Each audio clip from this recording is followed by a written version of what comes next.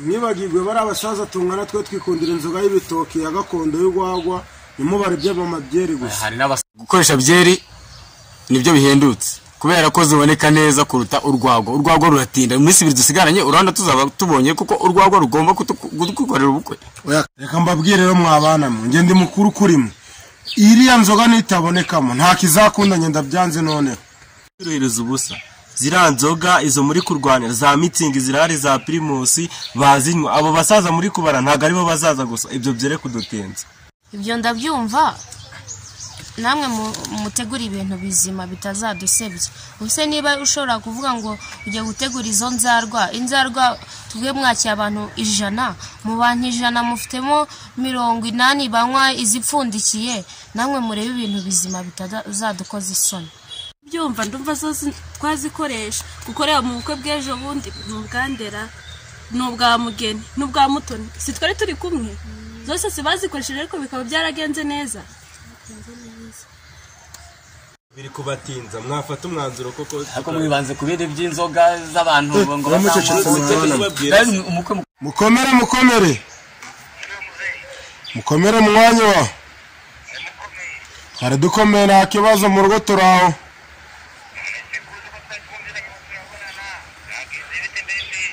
nari nageze handi ku kabari ahubwo nari ngutegereje bati ntabwo wigure agakarita kuri telefone ntabwo nkikagura rwose ntiwareba.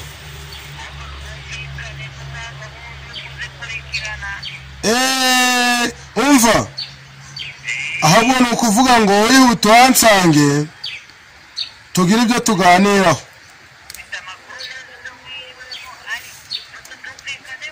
Yihute unsange hahandi ku kabari. Bari bamaye rimwe ahubwo kansaba irindi urahansanga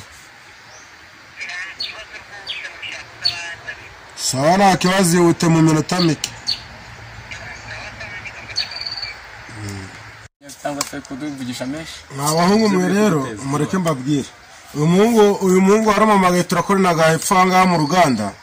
Yaramamagaye ngo tubonane ariko biri ngombwa. Biri ngombwa nkamureba tukavugana ibintu turi uragiye tutabirangije ubu ko ari ejo bundi koko? Ah, ariko hari ikintu twibagiwe kuvuga sinzi niba aka kanya wahita ugenda byose bitarangiye.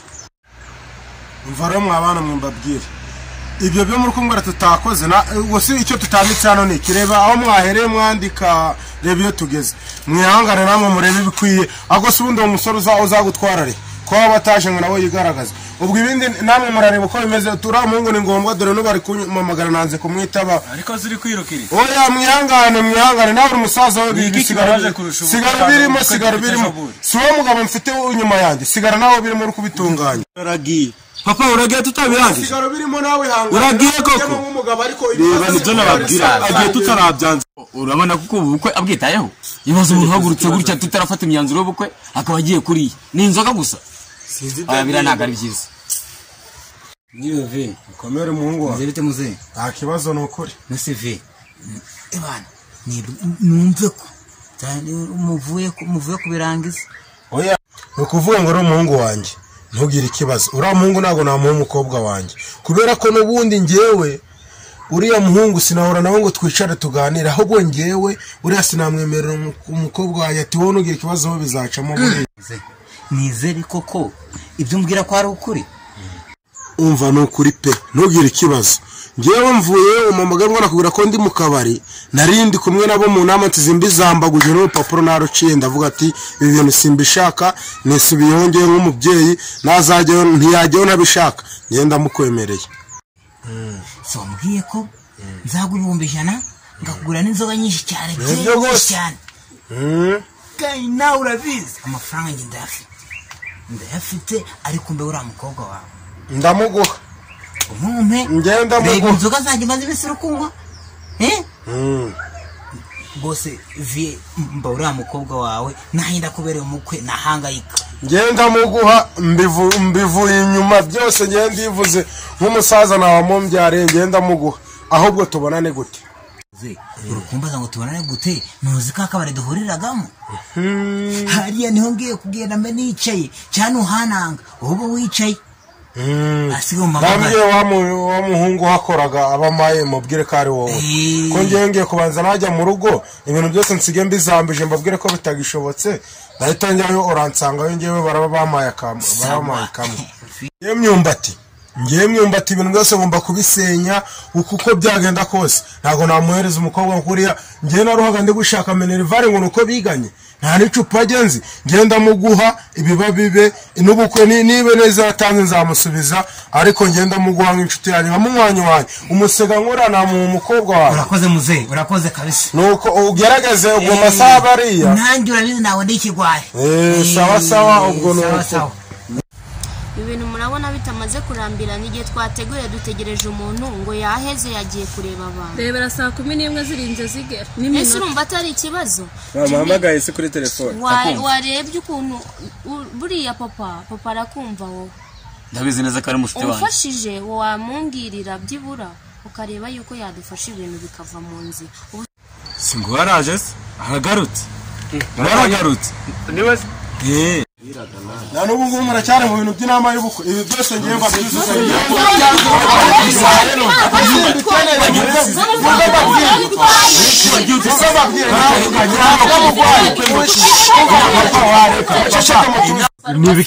mva muze mbabwire ebyo simbikeneye muze mbabwire Ah, ah, muze nambwe mugwaye mwicare mbabwire mwabana ngewe simbikeneye kubwira mwabyemera mungu simbikeneye nubwo utsinda ntabwo byiza uretse ko icara icara kwanza tubanze tuvugane kuko tubunonosore tunonosore ubukwe neza twabwira umukobwa wawe bugende neza ntabwo byaba ari umuntu nkawe koko ugatuma umukobwa ejo azagenda reka tutuze tubanze turangize n'ibyo mwicare tubiganire njye mbabwire kari kari Oya, ni ukuvuga ngo mwicare tubiganireho mbabwire yewe myumbati ndabakaniye buriya bukwe ntago bushobora kubaho ngenda bihakanye oya nimba ntabwo myumbati ibintu nabyanze simbishaka muzi n'ikindi mwese nimwicare mbabwire umwanzuro wa nyuma ngewe ngomba kuba imyumbati Oya, mwicare ngewe mbaho umwanzuro w'umusaza. mwicare mbaho umwanzuro w'umusaza. ariko ibyo ngibyo byose. Niba ari uriya mugabo mwicare ushyize imyumvire mibi yo kuza mbaho umukobwa wacu ukuntu ntabwo tubyemera oya ntabwo tubyemera mbaho umwanzuro ngewe wawe umusaza twasangiye yewe ndi iwanjye ndi iwanjye nta muntu nshaka kumvuguruza mwese noneho aho bigeze. Mwese mutahe nzaba umwanzuro ejo buri wese n'ataha namwe mujye mu uwo niwo mwanzuro uduhaye muceceke ngende umusaza mukobwa yaranaga igikurikiyeho buri wese atahe ataha namwe mujye mu Iwawe ariko nawe cyangwa umwanzuro y'abantu mureke amagambo ibyo ni byo bikurikira wajya ufata imyanzuro uzi ko twabyumvikanyeho neza tukabirangiza amafaranga ukaba uyabitse ndayafite amafaranga yabitse sinyaguhaye simuguriye inzoga ndashaka kugira ngo rero ejo kare. Uriya mukobwa wamubona iwanjye. Wowe humura urikumva? Ibintu ngewe ejo nzabyikorera ahubwo wowe kare kare. Nuko niyo ngoma umenye ko ndabona kugezaho kare kare. Nza- nzamubona sinzamubona. Ugomba kumubona rwose. Nanjye rero kangende pe kangende njye kwitegura. Amafaranga ndayafite ahubwo zino marine zo muri nyabugogo ndazinyuraho gute no mu nzu neza bakore fureshi ejo ubwo ibintu byose njye nabirangije byihorere nawe ndagiye aya mafaranga ndigura ziriya marine za nyabugogo ndebe uko ndazinyuraho umukobwa ko wawe sinatega moto magana atanu ni menshi umukobwa wawe ni we ntegereje Mm, tuzabivuga nawe tuzabivugana ejo. Dore n'amasaha arakuze bona arije tuzabivugana muramuke rirake sawa sawa. rirake rirake muzehe Eh, ariko njyewe ni gazo amafaranga ndayafite. Ewana. Nta na kimwe mbuze. Kandi na se noneho namukwiha inzoga noneho zinarenze noneho kugira ngo yemere. Noneho nanjye buri kimwe cyose isa yarakibona. Ariko kari agatipe ntabwo kanjye agahigo ngo ka- ngo kanjye gapapu njyewe. Eh?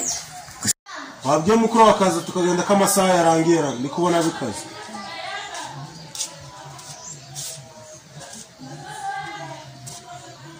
ubwira ze tugenda tugende mu isoko dore amasaha arakubye.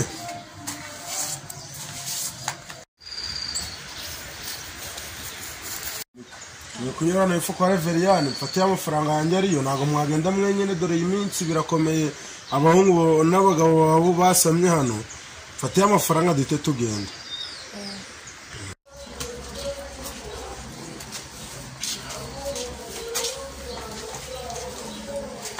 Yemwe kwa reveriyani wewe muraho muraho muraho mukomere mukomere. Ah, nyumba? Eh, ni mwebwe. Ah, ndiye myumbati buriya ntabwo nicaga gahunda Eh, ndi kubona umuryango wawe wawushoreye rwose. Eh, bimeze gahunda bite? Aba ari gahunda rwose. Ah, muraho. Amakuru amakuru. Amakuru ni meza mwari rwose. mukomeye mwari mukomeye. Ni ni gutyo Eh, ni karibu mwicare. Eh, turi gutinda ariko si muragera mu rugo mugende muticaye. Ni karibu. Eh, mwari mukomeye nyumba? Nuko komera komera. Eh, reka ndaje hari ahantu nari nyuze hano hepfo gato ndaje ningeraho ngaho ndakubwira. Rero nguno mubwire hano gato nguno gutuma ahantu genda ujye mu rugo ndaje ndagusanga mama wawe kugushaka ngiye kujya ku isoko na mukuru wawe. Waza ukanyereka aho ubwiherero bwanyu buri? Eh, kaze mwereke vie. Eh, si urigwarize gahunda yawe naje kuyica ngewe myumbati sinica gahunda. Buriya ngewe myumbati na kera hose. N'abahungu twabyirukanye ntarasaza gutya ngana. Ntabwo nicaga gahunda yabo. Wowe urigwariza ubwo ngendagiye nawe mwana namutumye ntari bugaruke agiye mu rugo ubwo nanjye nawe ngiye kumusanga. Nabibonye pe! Nabibonye nabushimiye uri inyangamugayo. Ubwo ubwo ni uko ushaka tugahurira ahantu buriya Eh. twongera kubiganiraho naho ubundi ni gutyo bimeze. Eh, sawa sawa. Murajya ibijumba. Ariko ibi bijumba mva mama yarondoye neza mwa. Ngo ni binini. Kandi wangakundaga n'iby'umutuku Gusa ikiro nangahe? ahubwo katugurusha vuba tubihaye. Bamwe bari gukeka amashu abandi ngo bari mu bijumba. Muzi ibyabaye? Mukuru wawe mushiki wawe cyangwa wamuherekeje uzi ibyabaye ubu ngubu ari kwa nigazo papa wawe nawe ariyo bamufungiranye none mwe muri aha ngaha ubwo si muri aha ngaha muri gukora kandi kari akazi kwa nigazo ubwo se ni bwo twemeye njyewe twajyanye papa akinjira mu nzu papa akangira ngo ngende mu rugo nawe urinjishe urinjishe Iri kwa Nigaso. Mubure kujya kumureba. Oya, ntabwo- ntabwo- Nawe